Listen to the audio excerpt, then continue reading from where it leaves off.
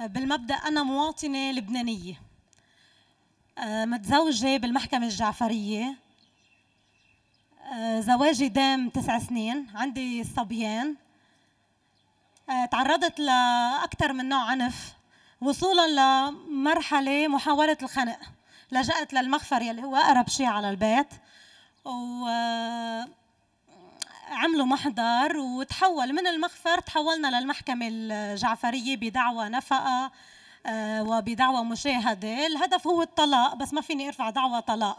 دغري بيقول لي الشيخ لا ما فيك بنعمل هيك لحتى هو يقبل يطلق.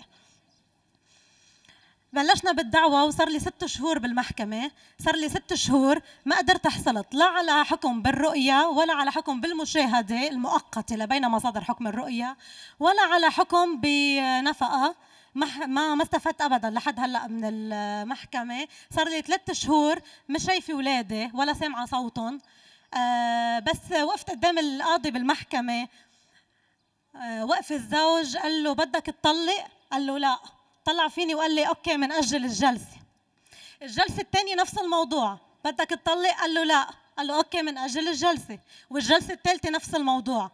ليه؟ لأنه هو إذا ما بده يطلق أنا ما بتطلق بينما إذا أنا كنت مش موجودة وهو بده يطلق بيقدر يطلق ليه لما ليه لما بدنا نكتب الكتاب بدنا نتزوج؟ بيسألني هل تقبلين به زوجا لك على مهر وقدره إلى آخره؟ بياخد رأيي بالزواج بياخد رأيي بالطلاق؟ لا. بالزواج بي... ما بيقبل الشيخ يكتب الكتاب إذا ما كان عم يسمعه ويشوفها شخصيا قدامه لحتى تقول له نعم لحتى يكتب الكتاب. بالزواج لا. بالطلاق لا. هو بيقدر يا يطلق ساعة اللي بده أو ما يطلق ساعة اللي بده. بقدر أنا أتجرجر على المحاكم مثل ما هو بده وتعلعل وتعذب إلى آخره. كان ابني موجود بالجلسة الإخرانية جابوا معه على المحكمة. ما كان يخليه لا يقرب علي ولا يسلم علي ولا يبوسني ولا يغمرني. أنا كنت محطوطة بموقف أنا وياه قدام بعض ما قادر ابني يركض لعندي ويغمرني. عايش السعادة بكبت. إنه هو شايف أمه اللي صار له زمان ما ما قرب عليها ما شافها. مبسوط من جوا بس ما قادر يبين عن هيدا البسط. هون نحن عنا عنف على الأولاد كمان. هون الطفل بحد ذاته عم يتعنف. عدا عن إنه المشكلة بين الزوج بين الزوج والزوجة. أنا وفل من المحكمة قال له القاضي ولو خليه يبوس أمه. يعني القاضي اللي هو أصلا له الحق إنه يفرض قرار على الزوج كان عم يترجى الزوج بمكان ما إنه ابني يبوسني. ابني اللي هو قطعة مني يقرب يغمرني. أنا صار بدي إذن إذا بقدر شوفه أو بقدر بوسه أو بقدر أغمره. آه نحن بمجتمعنا بطلنا عم نحكي عن آه تمييز بين رجل ومرأة. بالأول أوكي كان الرجل مميز عن المرأة الرجل هو السلطة الأعلى بإيده كل شيء وما زال. بس نحن هلأ وصلنا طبعا لقانون الأحوال الشخصية اللي تابع لكل طائفة. وصلنا لمرحلة في تمييز بين المرأة والمرأة. أنا كمرأة أنتمي للطائفة الشيعية. بقانون الأحوال الشخصية مميزة عن امرأة أخرى تابعة لقانون أحوال شخصية لطائفة مسيحية أو لطائفة سنية أو لطائفة درزية. يعني نحن صار في تمييز بين مرأة ومرأة بيناتنا.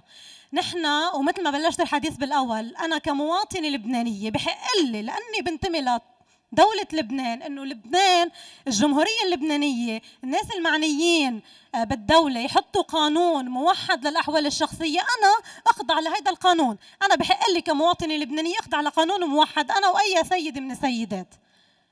فنحن موجودين آه، هون آه، أنا شخصيا وكل السيدات آه، لحتى نطالب بقانون موحد للأحوال الشخصية ينصفنا وبنفس الوقت ما يميز بيناتنا بين مرأة ومرأة يعني يكون في تساوي بين النساء بهذا القانون. نحن نحن موجودين هون نزلنا على الأرض لنوصل صوتنا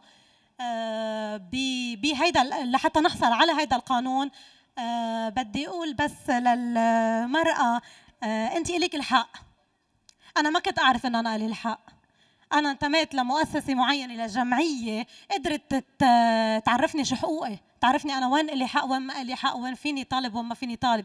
أنت إلك الحق. في كتير نساء أنا بعرفهم أصلا آه نايمين هلأ ببيوتهم وما عم يسترجوا يقوموا ويثوروا لأنه المحكمة ما بتاخذ لهم حقهم لا بتشوفوا خلص أنا إذا بدي أقوم أطلع من البيت المحكمة ما رح تاخذ لي حقي لا فيني أشوف اولادي يمكن أهلي كمان ما يعودوا لأنه الطلاق آه شيء غلط بمجتمعنا. ما فيني أشوف اولادي ما فيني أحصل على حكم النفقة ما فيها تحصل على شيء بتقول لك لا خلص خليني قاعدة بالبيت. الك الحق. إيد بإيد. أكيد رح نوصل لحتى نغير هذا القانون. شكرا.